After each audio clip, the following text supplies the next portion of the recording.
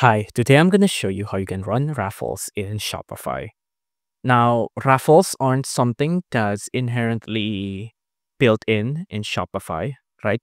So there's no built-in features in Shopify to run raffles.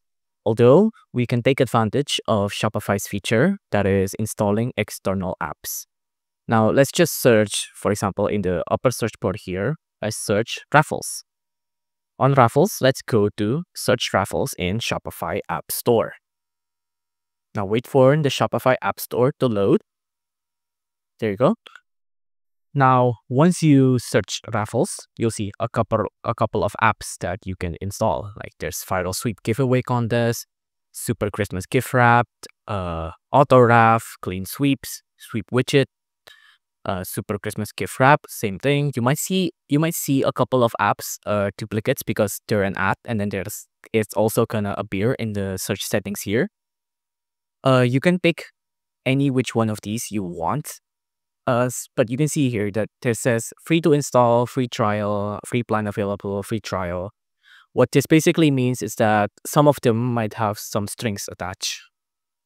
So you might need to buy a subscription to make it work or to make it run, right? And you might need to uh, manage this carefully because you're already paying for a Shopify subscription, and then you're gonna be you're gonna have to pay for another app uh, feature as well. But for this one, I'm going to show you how to use Panacora Raffle. So let's click on this. Now in here, just click on install. Now it'll redirect you to a new page here. And in here, you'll see install apps. Now on install apps, you'll see that it can view personal data and it can also view and edit stored data. Now this is pretty common in any apps in Shopify. So you can read this if you'd like, but I'm just going to click on install.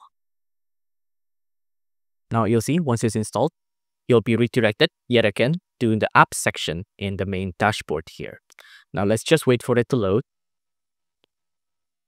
Give it a second.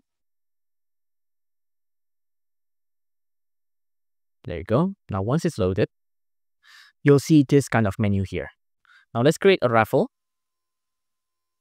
Uh, for this one, let's raffle a shirt. And this one will be called shirt raffle, right? And the description is this is a raffle for a shirt. And the items to raffle is just raffle one. The sign up limits, let's just limit it to 30,000 sign ups.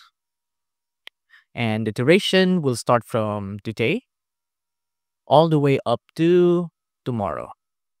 Let's click on create. Now wait for it to load. It'll show up here. There you go. Now we have a pants raffle right here, right? And you'll see right now it's open for registration. And you can see in the signups here, and you can see in the units to raffle, and you can see all of the details in this specific menu